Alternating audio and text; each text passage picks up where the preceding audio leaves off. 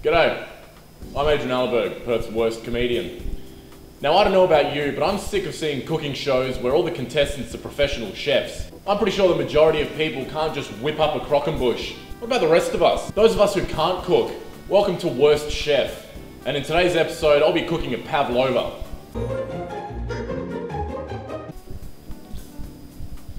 That one can be taken out. Bloody telling jokes and mixing yolks, eh? Uh, you know, fuck it, we're just gonna start again.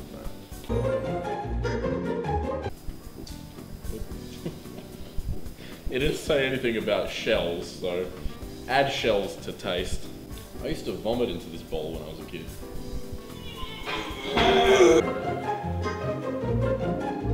In a little whiskey twisty motion, as such, the, uh, the old Michael J. Fox technique.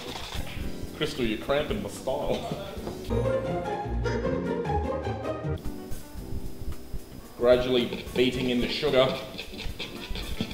Oh, check out the speed on the bowl, man. Optimally, you'd have an electric beater, but you know, we can't all be millionaires. Nothing like beating it on camera.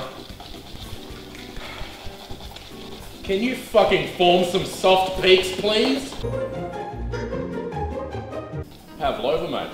Sounds like a bloody Russian tennis player. All right, now we're gonna spoon the uh, meringue mixture onto the baking trays into the shape of a cat's head. I don't know why, I really like cats. Really like cats. Okay, so the pavlova's a bit runny. It's just, no, it's gonna be a pavlova pancake, right? There's nothing wrong with that. It's just a different style of cooking. They call me the bloody Pavlova Picasso. I feel like I'm looking at a real cat, honestly. So I'm gonna go put this in. It's turned out pretty good. Bloody Pavlov's cat here. He's gonna have berries for eyes, a little pineapple for a nose. Let's give him some passion fruit ears, bit of earwax eh? We need to give him a name. Petey the Pavlova cat. Isn't he cute? Let's get into him. Get one of his eyes. Mate, Petey, you delicious bastard.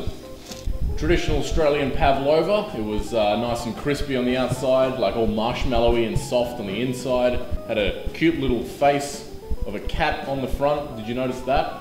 That turned out a lot better than I expected it to. 7 out of 10.